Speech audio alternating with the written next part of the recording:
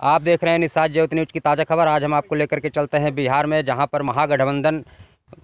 तय हो चुका है और महागठबंधन में हम बात करेंगे कि बीआईपी पार्टी, विकासशील इंसान पार्टी को कितनी सीटें मिली हैं तो हम आपको बता दें और बताने में हमें खुशी भी हो रही है कि बीआईपी पार्टी को लोकसभा की तीन सीटें महागठबंधन के तौर पर मिली हैं तो ये बहुत बड़ी उपलब्धि कही जाएगी निषाद समुदाय के लिए। निषाद समुदाय अब जाग रहा है तो इस जागने का नतीजा आप देख सकते हैं कि यहाँ पर लोकसभा की तीन सीटें जो है कि बीआईपी पार्टी को बिहार में मिल रही हैं महागठबंधन कर, महागठबंधन के तौर पर। बिहार में लोकसभा की पूरी चालीस सीटें हैं तो चालीस सीटें में जहाँ जो है कि तीन सीटें जो है कि दी गई हैं। हालाँकि पहली बार गठबंधन हुआ है, पहली बार पार्टी का गठन हुआ है। पार्टी के गठन करने वाले हैं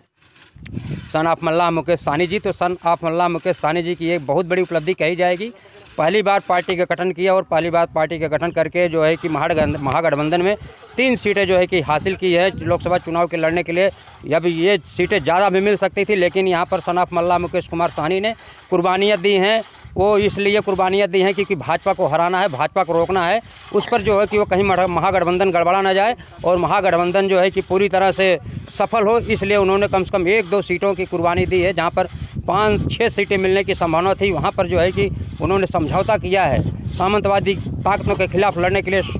समझौता किया है। उस समझौते के तहत दो सीटों का कम से कम इन्होंने जो है कि घाटा उठाया है, लेकिन महागठबंधन सफल रहे, इसलिए तीन सीटों पर इन्होंने जो है कि जा कर के अपनी बात को जो है कि वहाँ पर इन्होंने जो है कि